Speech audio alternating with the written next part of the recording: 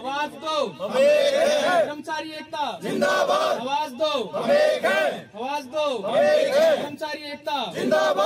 Outsource part two कर्मचारी प्रतिनिधि मंडल हरियाणा के प्रधान राम रतन के निर्देशन में आज संगठन के पदाधिकारियों व पार्ट टू के विभिन्न विभागों के कर्मचारियों की मौजूदगी में नेताजी सुभाष चंद्र बोस पार्क अंबाला में मीटिंग का आयोजन किया गया, जिसमें हरियाणा प्रदेश के विभिन्न जिलों व विभिन्न विभागों, जिनमें आईटीआई, बिजली board, medical college, higher education, पशुपालन, वस्तुकला, सिंचाई, रोज़गार NCC FDA panchayat food and drugs, PWD, ESI, canal patwari में कार्यरत लगभग 250 कर्मचारियों ने हिस्सा लिया। बैठक में सभी कर्मचारियों ने अपने विचार व सुझाव रखे। सभी कर्मचारियों ने अपने नाम के सामने से कच्चा शब्द हटाने पर ज़ोर दिया। आउटसोर्स पार्ट टू प्रधान मेरा सभी साथियों से नमस्कार। कि मेरे साथी सभी जुड़े हैं, यहाँ भी आए हैं, सौ आदमी। आज यहाँ अम्बाड़ा में हमने मीटिंग की थी कि हमारे साथी यहाँ से जुड़े और आए और आए हैं साथी, बहुत साथी आए हैं। और हमारी डिमांड है सरकार से कि हमें तीन साल की पॉलिसी बनाए, जिसमें सभी साथियों को लाभ मिले। बाकी मेरे साथी बताएँगे, संदीप जी। संगठन के संयोजक संदीप देसवाल ने बताया कि उनकी पिछले डेढ़ साल से सरकार से लगातार यही मांग है कि सरकार उन्हें रेगुलराइज करने के साथ सेवा, सुरक्षा विधेयक का प्रस्ताव विधानसभा में लाए। हाँ जी, मेरा नाम संदीप देसवाल है जी। हमारा, मैं संगठन में एक संयोजक के रूप में कार्य करता हूँ।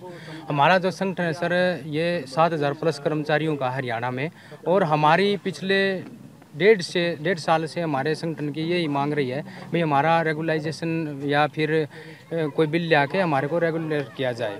और हमारा सर, मुख्य मांगे ये भी है कि हमारा छः साल से तो सर 2017 से तो एक पैसे की बढ़ोतरी हमारी सैलरी में नहीं हो रही ना हमारे को डीए दिया जा रहा है, ना हमारे को मेडिकल क्लेम कुछ भी नहीं दिया जा रहा सर।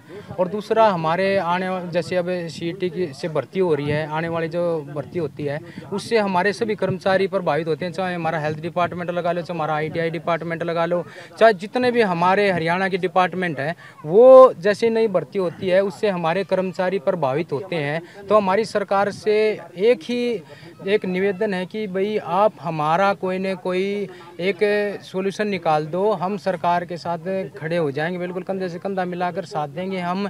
लेकिन आप भर्ती कर रहे हो, भर्ती करते रहो, हमारे कोई दिक्कत नहीं, लेकिन हमारी तरफ़ भी देख लीजिए, हम भी गरीब परिवारों से आते हैं और हम भी आपकी सरकार में ही कार्य कर रहे हैं। दस से बारह साल, किसी को तीन साल, किसी को चार साल, ऐसे हमारे कर्मचारियों काम करते हो हर डिपार्टमेंट में हमारा कर्मचारी कार्य करता है। और आज जो अम्बाड़ा जोन की हमने मीटिंग बुलाई है हमारे संगठन के द्वारा, इस जोन की मीटिंग में सभी हमारे पदाधिकारी, विभागीय पदाधिकारी इसके अंदर उपस्थित हुए हैं और उन्होंने अपने अपने विचार रखे हैं अपने अपने सुझाव दिए हैं ताकि हम आगामी रणनीति क्या बनाए।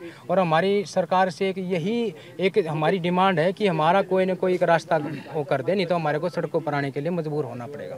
तो हमारे संगठन के संयोजक के तौर पर तैनात रवि शर्मा ने कहा कि हरियाणा के मुख्यमंत्री से मांग करते हैं कि जिस प्रकार से एक रेगुलराइज कर्मचारी काम कर रहे हैं, हमारे कई साथियों को पाँच से लेकर बारह साल हो गए हैं, लेकिन हमारे से सरकार सौतेला व्यवहार कर रही है। हमें ना तो कोई इंक्रीमेंट मिल रहा है और ना ही कोई महँगाई भत्ता दिया जा रहा है। क्या नाम सर, रवि शर्मा नाम है। मैं आउटसोर्स पॉलिसी पार्ट टू संगठन के अंदर सह संयोजक के पद पर कार्य करता हूँ। सर, मैं मुख्यमंत्री जी को यही कहना चाहूँगा कि जिस प्रकार हम एक रेगुलर कर्मचारी भर्ती होता है, उसी प्रक्रिया के तहत हम भी भर्ती होते हैं। और अभी तक हमारे किसी साथी को तीन साल, किसी को पाँच साल, किसी को दस साल, किसी को बारह साल हो चुके हैं, सर। न तो अभी तक हमारे को कोई इंक्रीमेंट मिल रहा है, न ही हमारे कोई महँगाई भत्ता मिल रहा है। जब एक रेगुलर एम्प्लॉय को महँगाई भत्ता मिलता है तो हमारे को भी, सर, मिलना चाहिए। जो महँगाई की मार उस पर पड़ती है, वही मार हमारे बच्चों के ऊपर भी पड़ती है। इसलिए मैं मुख्यमंत्री जी से निवेदन करूँगा कि मुख्यमंत्री जी आने वाले विधानसभा में, सत्तर में हमारे बारे में कुछ सोचें, सर। मेरा नाम जय दीक्षित है। मैं आईटीआई विभाग से राज्य प्रधान। और जैसे हमारा जो संगठन है, पार्ट टू एसोसिएशन, ऐसे ही सभी पार्ट टू जो जितने भी कर्मचारी हैं सभी ने अपने अपने राज्य स्तर पे अपने अपने विभाग में अपनी अपनी एसोसिएशन बना रखी है। और सभी एसोसिएशन, पार्ट टू एसोसिएशन में मर्ज होते हैं, क्योंकि सभी पार्ट टू कर्मचारी हैं। और हम सरकार से आग्रह करते हैं कि सभी सभी कर्मचारी थ्रू प्रॉपर चैनल, मेरिट के आधार पर, इंटरव्यू के आधार पर लगे हुए हैं। जैसे सरकार की पॉलिसी होती है, जो नॉर्म्स होते हैं, उस नॉर्म के अकॉर्डिंग लगे हुए हैं तो कुछ साथी दस साल से भी कार्य कर रहे हैं, कुछ साथी बारह साल से भी कार्य कर रहे हैं, कुछ एक पाँच साल भी हो गए हैं तो हम सरकार से ये आग्रह करते हैं कि सरकार निम्न स्तर पर छोटी से छोटी पॉलिसी बना के इन सभी कर्मचारियों को, जिनके आगे ये कच्चा शब्द लगा हुआ है, जो कच्चा कोड लगा हुआ है इसको हटा के, छोटी से छोटी पॉलिसी बना के, इसको हटा के इन कर्मचारियों को रेगुलर करें तो ये कर्मचारी आप सभी के हमेशा तय दिल से आभारी रहेंगे।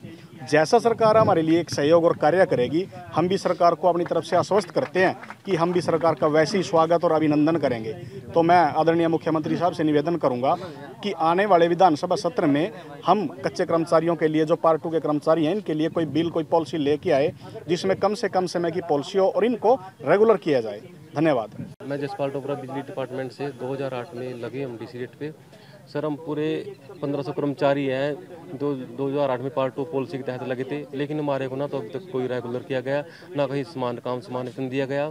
तो हमारी सरकार से गुजारिश है, आगामी विधानसभा सत्र में हमारे लिए कानून बनाकर ऊपर पक्का किया जाए, समान, काम समान वेतन दिया जाए, जो भी हमारे लिए हमारा समर्थन सरकार को पूरा पूरा रहेगा, जितना ज़्यादा हो सके। अपने आसपास से जुड़े ऐसे ही अपडेट्स पाने के लिए देखते रहे अम्बाला ब्रेकिंग न्यूज़। हमें फेसबुक पर लाइक करें यूट्यूब पर सब्सक्राइब करें और अपने एप्पल और एंड्रॉयड मोबाइल फ़ोन के प्ले स्टोर से हमारी app Ambala breaking news download करें।